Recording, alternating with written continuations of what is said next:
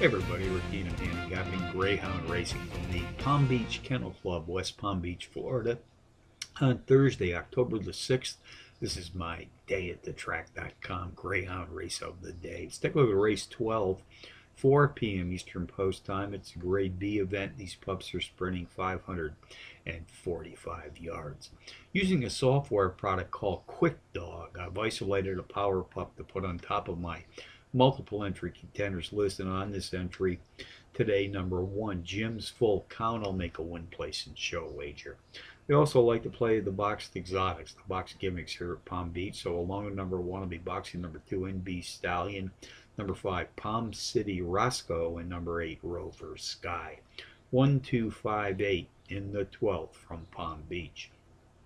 QuickDog Software has helped me isolate a pair of very playable power pup long shots. I'm going to suggest win place and show waiters on both of these entries. First comes in race six, one place and show on a seven to one shot. Number one, WW Spellbound. And in race eight, win place and show on a six to one shot. Number one, v, VJ on the point. So from Palm Beach on a Thursday, we're eating for day at the track.com. Reminding you as always to please bet with your head, not over it.